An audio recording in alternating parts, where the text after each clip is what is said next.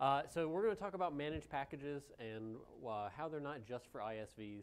Um, I had a, when I submitted this talk, it was not such a fancy title. It was a lot more wordy and kind of uh, harder, easier to understand what the concept was, but not as flashy. So uh, you guys are all guinea pigs. This is the first time I've given this talk, so hopefully it goes great. It probably won't, um, but we'll, we'll roll with it.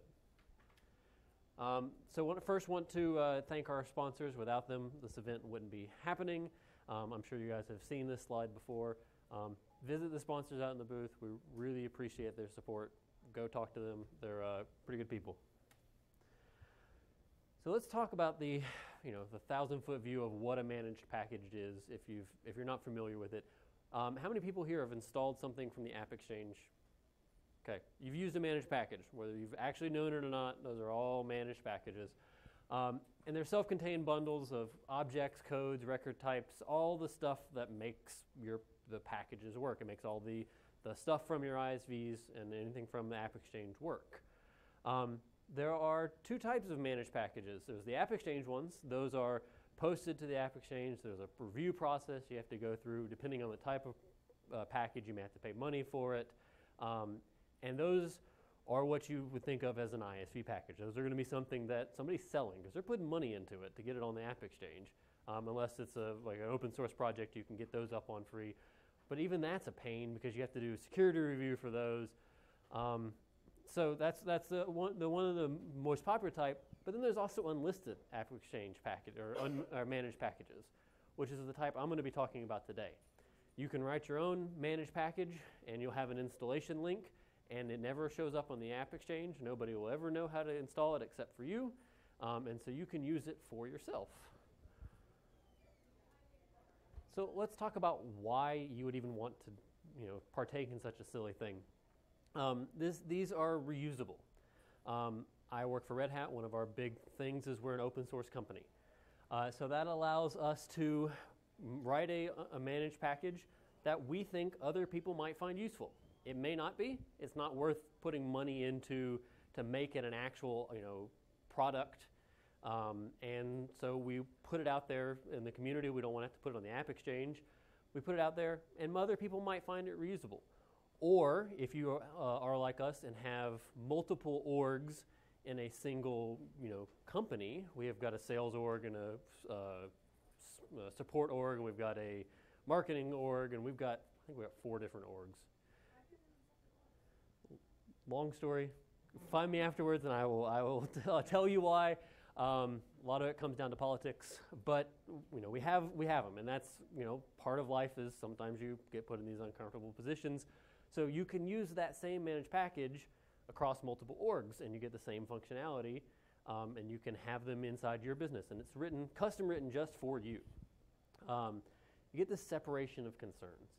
Uh, there are a lot of things that they live in their own little silo.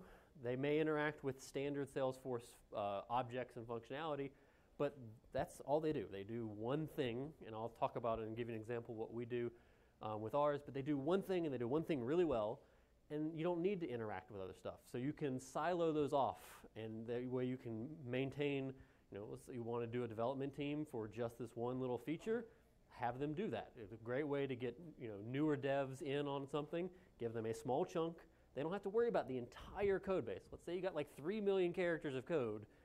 That's really intimidating to somebody who's just coming in. But if you've got a managed package that they're working on and there's only you know, 100 lines of code and two objects, that's much easier to kind of ease them into your workflow to how you do things. Um, they're easy to update and deploy. Uh, it takes us to run all of our tests in our org, it takes eight hours. With the managed packages, because you've got much smaller chunks, that's easier, it's faster, and you can do these as one-offs. Um, like we have a process that we have to go through to release every three weeks. And with a managed package, if you do it right, I know I could push out an update and I can just go and click a button and install it in my production org, you know, assuming I've done my tests and all my due diligence, um, in a couple minutes. And so it's a lot faster for these small, again, siloed functions. And I'll talk about when not to use it in a little bit. Um, and like I said, they're fast to write and they're fast to update because they are small. You're doing smaller chunks and you, know, you, can, you can focus on just a little bit And you can run all those tests. The, the managed package that we have, the, all the tests run in like two minutes, if that. Um, and so you, you know, it's a lot faster to iterate over these things. If you have a platform license, a managed package is able, is, is counted as a package and not all the individual objects. Do you know if you create your own managed, managed package, if the same is true? Uh, If you have the, the platform license that only allows up to ten objects, does this kind of bypass that the same way that other managed packages? I, I believe so. I don't I don't know for certain. Um, I'm unfortunately I'm in the position where I'm unlimited user license, so you know I, I don't hit a lot of these limits that a lot of people do. I believe it is. If if anything else from the App Exchange doesn't count towards your object limits, um, like you know if you install TaskRay, they got a bunch of objects underneath there. You know that's if that doesn't count towards the number of objects, then these managed packages wouldn't count. They they're they are managed packages like everything else on the App Exchange. Yeah, it goes against the namespace limits. Uh, don't you have to be registered as an ISV or a partner in order to publish managed packages that can work in professional orgs? Uh, I don't know if professional orgs. You, I don't believe so. I They have, like now have Apex, custom Apex and stuff. uh, again, I don't know. No worries, I didn't know if that was part of what you were going to. No so this is just you know kind of why. In general, there are you know depending on again what your licenses are, it may be slightly different for what you can use in your org. Um, You can create them from any developer org. yeah, so Spin up a free dev org, so that's yeah that's what we do, and I'll go into how we do it in a second. But you know we have a dev org that we spin up, and then we you know, have all the the things. But to be able to install it, you may not have all of the knobs and levers that the dev org does. So you got to be aware of be aware of that. Uh, so, manage package requirements. Um, you want a developer org, not a sandbox. This is a brand new developer org that you go to, you know, developer.salesforce.com and you click a new one and you create it there. You don't want to do it off sandbox because you have to do namespaces and sandboxes are just not, we can't do it there. Um, you have to define a namespace. These are going to be managed packages. So part of the managed packages is what's called a namespace, and that gets prefixed to all of your objects. If you've ever installed something from the App Exchange and you're looking at their objects, they have some name, double underscore, object name. That the stuff before the double underscore is the namespace. So that is going to be unique to your package. It's unique across all of the packages in Salesforce, all of the namespaces. So try to come up with a naming scheme that fits you. Um, ours are all RH underscore and then whatever we're doing, so they're kind of you know unique to Red Hat. Um, and you know pick something that is easy to easy to use and easy to remember. I mean you could technically just put in random characters and that would work as a namespace, but you know it's hard to remember when you're trying to do object queries and things later. Um, and you need something to deploy, right? I mean, you got to have a reason to make it. I mean, yeah, you can make a managed package with nothing in it, but you know, why would you do that? Um, and like I said, App Exchange is not one of the requirements. You don't have to post on App Exchange. If you want to, you can. You know, if you have an open source project that you want to make a managed package for, um, and you don't want, and you can do that without paying any money. You do have to go through some additional hoops, some security reviews. Um, by all means, do it, but you don't have to. Uh, and one of the great features that I love is that you can have packages and that depend on packages that depend on packages, and you know all the way down the line. Um, so again, even more separation of concerns, and allows you to use open source bases. So the thing I'm going to demonstrate today, we have a, a managed package that is our open source version, and then we extend that for our internal use that has fields that only we care about. So I mean, you guys aren't going to care about some of the fields that we have on these objects, but you know, we put in fields into the base object that most people might care about. Um, and in that way, you can then extend it yourself and add additional fields to it. And the only requirement is when you install the child package, you install the parent package first, and then you install the child package. Um, and then you can do things like updating parts separate from each other. So if you have uh, something in the base package you need to update, you don't have to update both. You can just update the base package. Um, we're going to demo. And unfortunately, this is a bad setup for me because my back is going to be to you, and I hate that, so I apologize in advance. Um, So let's take a look at this uh, GitHub. Uh, this is our escalations object. So again, I work for the support branch of Salesforce, and we have some escalations that come in. These are both from customers and from internals. So if a customer calls a salesperson and they're super angry, a salesperson can file an escalation with our support managers on a case, and it gets paired to a case, and the support managers can then, you know, reach out to the customer and make the problem right. Um, and so we wanted to kind of put this in its own thing to remove extra code from our code base. 'Cause we have, uh, we have 2.9 million characters of code, not including tests. We've got nine, 900 and- 9,400 and some odd tests. It's a lot. We're trying to cut this crap down. And so by doing this, it allows us to um, put it into a managed package, and that is self contained. Um, so this looks like any other uh, thing you would see, um, and it has all the, the standard stuff. So let's look into the, the actual uh, org, and this is not a very good layout because this monitor is tiny.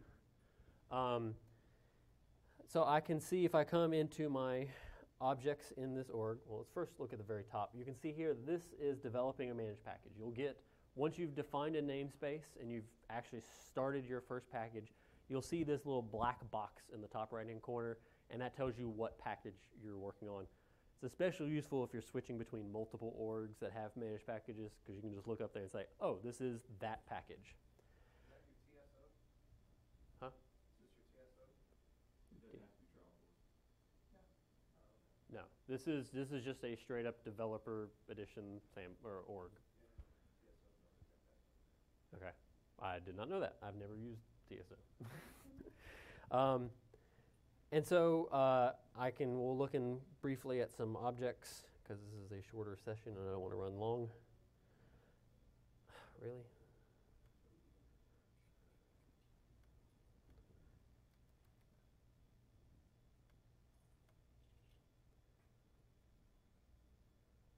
So if we look at some objects, we can see that I have got escalation, that's going to be our base object, escalation case, that is a pairing between an escalation and a case.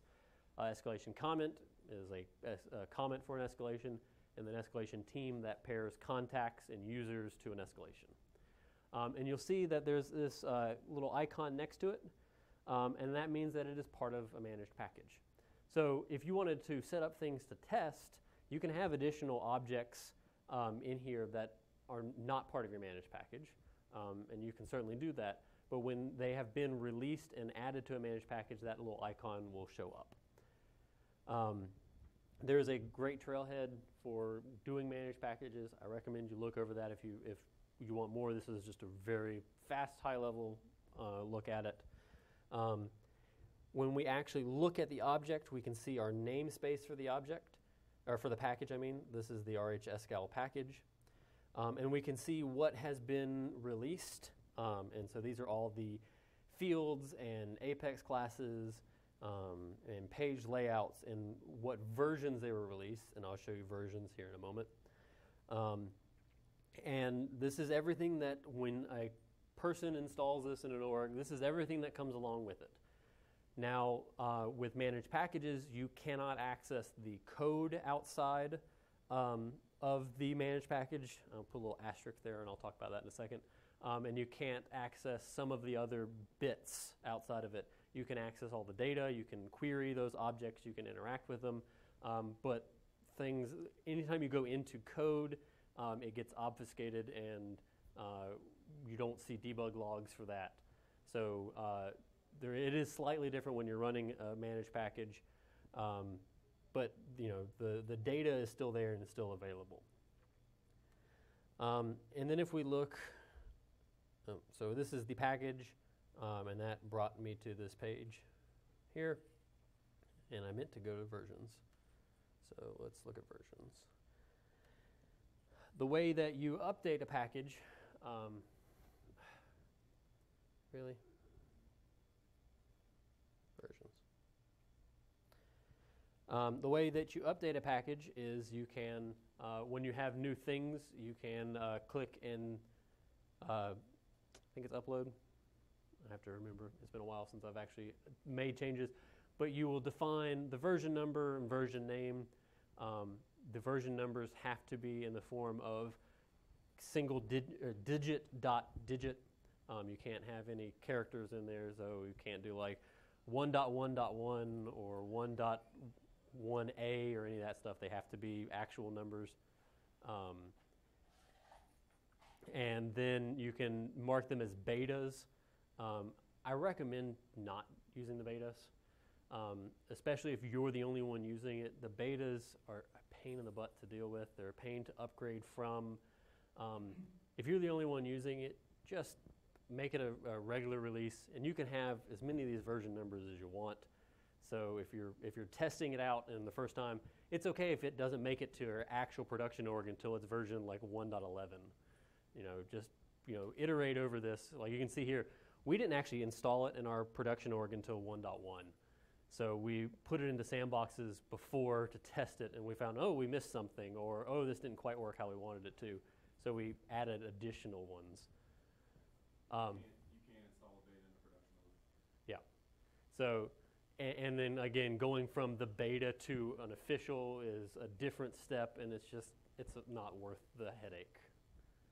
Um, so if I work for a business and I'm developing uh, applications internally for the business, which I'm currently doing that in a sandbox, would you suggest me ma- uh, making a developer org instead and then pushing managers, managed releases to the sandbox to test them within like their rules? D- depends on what you're developing. So yes, always test your managed package in a sandbox prior to deploying it to your production. Right. But if you are doing something like um, some trigger logic, for example, that you're writing or um, you know, process builder or something, it may not make sense to make it in a managed package if it doesn't stand alone. Um, so the biggest thing is it needs to stand alone. If you're interacting with fields in your org that are not standard fields, you're going to have a hard time because this these won't know about it, right? Your your data structure in here are going to be all these standard fields and standard objects. Um, so that's again why you know you, this is all self-contained. There's only those four objects, and that's all that we deal with. And we do reach out to case, but it is case ID. It is a standard field, and it's just a standard related lookup.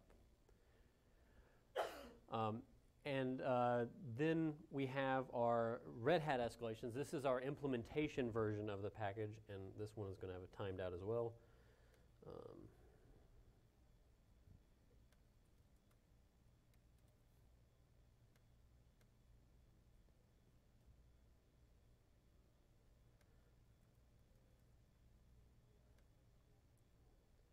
And we can see that this one's namespace, we, we have gone with the structure of IMPL or implementation. So this is our implementation of the Red Hat escalation package. Um, and if we look at this, it's a much smaller um, of an actual package. All that's on it is some custom fields um, that we have, um, and then some uh, some additions to some uh, other classes, some additional classes. Um, when I was talking about accessing code earlier, um, you can reach into managed packages to access code if they are flagged as global. So if you have a global class with a global method, you can use that. So that's really useful if you have, um, let's say you've got some custom APIs that you're writing in your main org.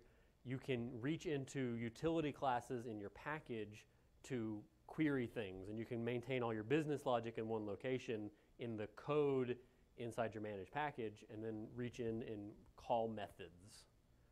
Um, does that make sense? Um, another example of, of where, we're, where we are using this is we have our, and I don't have this prepped because I literally started on it on Saturday.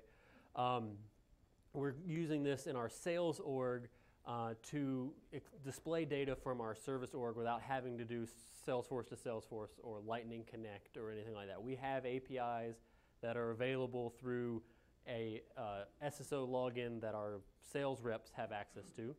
Um, and we're going to write a Visual Force page that makes REST calls to our API to fetch case data and create escalations and do things like that So that way, our salespeople, their developers don't have to know about our APIs. Their developers don't have to waste their time by you know doing our stuff, and we can have you know build a little bit of uh, goodwill with that team by saying, here, all you have to do is install this package, and then add a button that links to that Visual Force page, and you we can add things like URL parameters to say this is the account number that we're looking at, and then you've got a customized Visual Force page in there that shows data to them.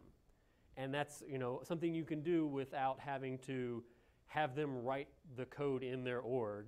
You just hand it to them. And then if you have a bug or you want to add new features, you update the managed package and say, here's the new link. They click a button, they update it, and you're essentially an ISV to your own company. Um, so you get that kind of chance to provide these uh, you know, packages to other orgs inside of your company. So there are some caveats. Um, there are some global limits for non-certified packages. I don't remember exactly um, what size limits they are. They are fairly large, and the non-certified are like you have to be a partner to have more than a certain number of objects in a managed package. Again, if you're doing this the way that we are, you're looking at small, concise stuff. So you're not going to have, or you shouldn't have, a thousand objects in this managed package. Um, you know, that's that doesn't seem that doesn't scale well with this kind of small modular approach. There are limits on the number of namespaces that can operate on a single object in a trigger context.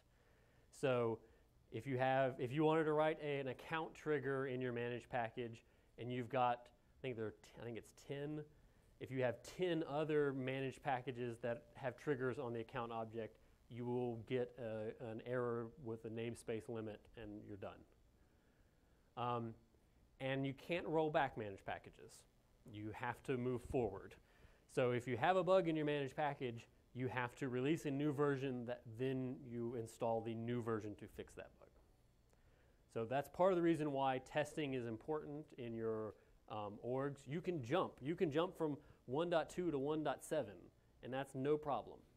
Um, so you can jump versions of managed packages, but you want to make sure that you know you can't go back from 1.3 to 1.2 because you found a bug. So test it in your sandboxes. You know, test it outside. Just test, test, test. Um, like I said, there is a trailhead for ISV app development. It goes over how to create managed packages. It goes over um, some of the rules and how to use them in other orgs. Um, I have created a couple of blog posts about managed packages. These are a lot around uh, REST services inside of managed packages. This is, um, again, how to use code from other managed packages. Um, and uh, some other caveats and you know how to create child managed packages. And then if you want this presentation, it's available uh, on my GitHub, um, pcon.github.io slash presentations, and it's listed there, um, or at least I hope it is. I thought I, I think I put it up there. If it's not, it'll be up there by Monday. Um, I'll, I'll make sure that it's up there. So, questions. Do I have a question slide? Oh, okay. I didn't know if I had a question slide, but there you go. This will be my question slide, and you guys can ask questions and copy stuff down. If you have uh, like a team of developers in the company, we each have our own developer uh, sandbox, Mm-hmm. and one uh, one managed pa- or one of the uh, developers is working on something and a package is a managed package. You can only ever develop on it in that sandbox, correct? You can't share managed package to developers.